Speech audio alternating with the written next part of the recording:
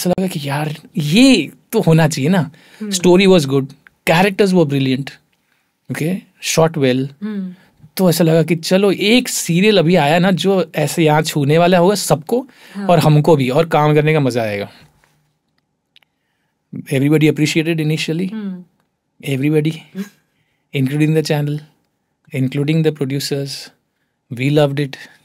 We were happy, but the were not not happy. so within a week, TRPs नहीं आई हम्म, तो वही जो हमने पहले किया था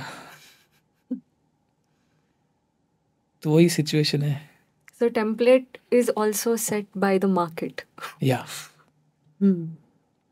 Because see जो ऑडियंस अच्छा शो देखना चाहती है वो इतनी ही है जिन लोगों को हाँ। समझ में भी आता है कभी कभी अच्छे शोज़ बंद हो गए हैं हम्म, उसी के चक्कर में और तभी ऐसा लगता अरे ये शो तो अच्छा था यार। हम्म, बंद हो गया। टीआरपी नहीं है।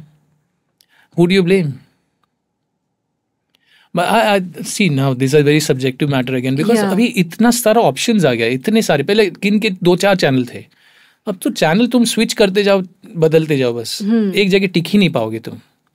तो कि, कि, कहाँ से टीआरपी आएगी? हम्म, शोज़ पे शोज़ आ ही जा रहे हैं। अभी जैसे हम लोग देखते इंस्टा पे ऐसे ऐसे करने की आदत हो गई ना तो टीवी पे भी ऐसा ही हो रहा है आपका।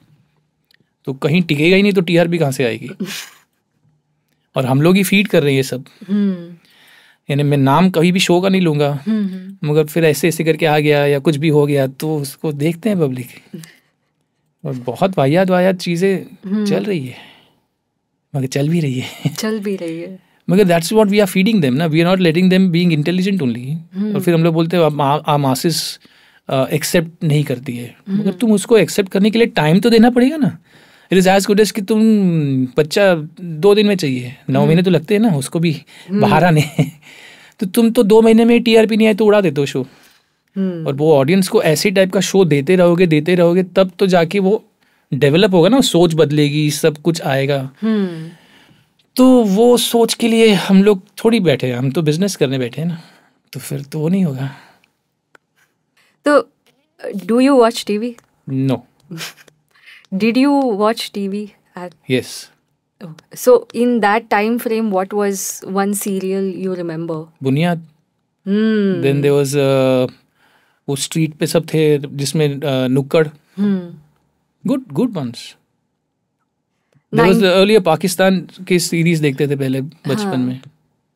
Good stories you know no loud music limited music sensible music sensible stories good acting I 90s के शोज़ के तो म्यूज़िक तो इतना याद ही नहीं है। It it was very that is one reason it is called background music ना? या now background music is become the front music ताकि जो सीन खराब है उसको तुम उठा लो म्यूज़िक से। ये हमको बोला जाता है कि ये सीन थोड़ा खराब है म्यूज़िक से उठा लेना।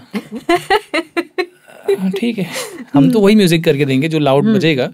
अब उससे कितना उठता है मुझे नहीं पता बट शायद उठता होगा तभी तो टीआरपी आ रही और चल रहा है। Okay See again, as I said, ki, Yeah. no offense to anybody, they are they are doing business. Yeah. People are appreciating that show. चल रहा है मुझे नहीं अच्छा लगता दैट डज नॉट मीन कि खराब है मैं नहीं देखूँगा मगर हज़ार लोग तो देख रहे हैं ना